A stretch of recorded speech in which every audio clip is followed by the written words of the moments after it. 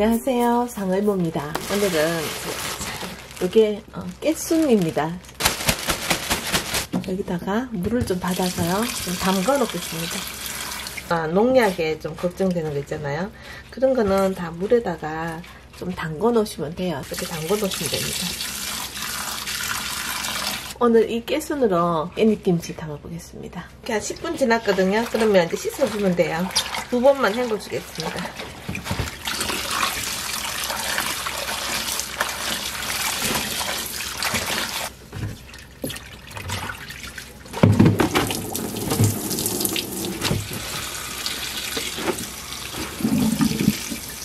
다 씻어서 이렇게 물기를 좀 뺐고요. 어, 여기다 이제 소금을 넣고 삭히겠습니다. 이대로 김치를 담으면 생깻잎 김치, 또 소금물에 삭혀서 담으면 또 삭힌 깻잎 김치 됩니다.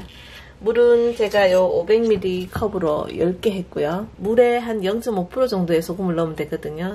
지금 물 요걸로 10개 했으면 굵은 소금을요. 반 컵. 근데 반 컵 하면 0.5% 정도의 소금을 넣고요. 이거는 금방 진짜 소금물 탄 다음에 제가 간을 한번 볼게요. 아, 그냥 먹을 수 있는 수준의 소금은 아닙니다. 좀 짭니다. 여기다가 여기 깻잎에도 제가 씻었기 때문에 이 속에도 물이 많이 묻어있거든요. 이 상태로 담궈 놓겠습니다. 이 정도로 넣고 이걸 눌러줍니다. 자 이렇게 눌러서 뚜껑을 덮어 놓겠습니다.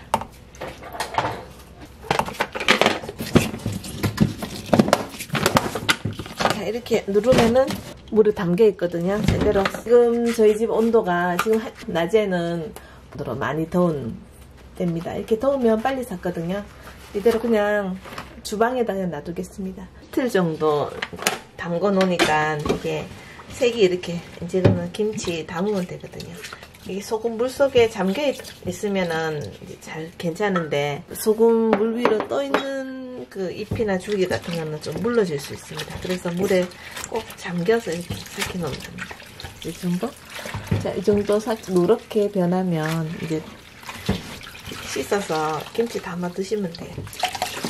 이거를 깨끗하게 몇 번 헹궈 주겠습니다. 한번 끓여서 하시면은 좀 부드러워지고 소금 물도 빠집니다. 소금기를 좀 빼시는 게 좋아요. 이렇게 한, 한 시간 정도만이라도 이렇게 담가 놓으시면 소금물이 빠집니다. 그러면 깨끗하게 헹궈 보겠습니다.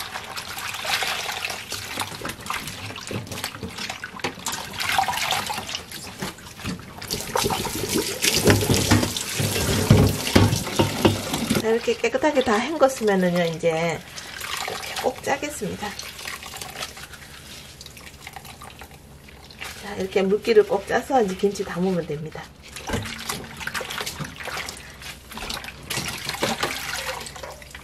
자, 이번에 양념을 좀 해보겠습니다. 대파 한 뿌리 잘게 썰어 넣겠습니다.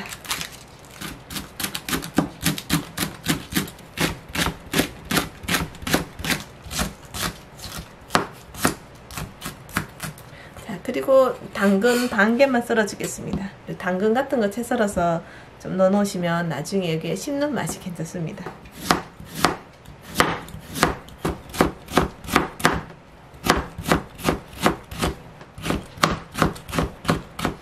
여기는 채가 곱지 않아도 됩니다. 약간 굵게 썰어도 괜찮습니다.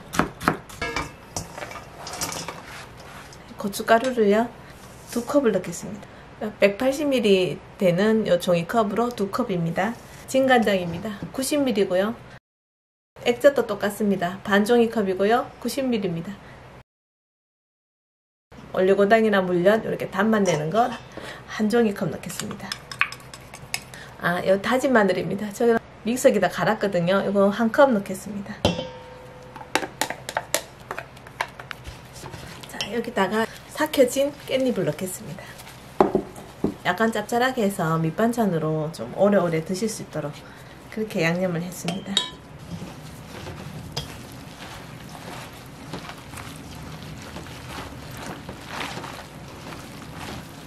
다 섞었으면은요 통깨를 좀 넉넉하게 넣어줬습니다. 꾹 꾹 눌러서 공기가 안 들어가도록 담아 놓으시면 됩니다.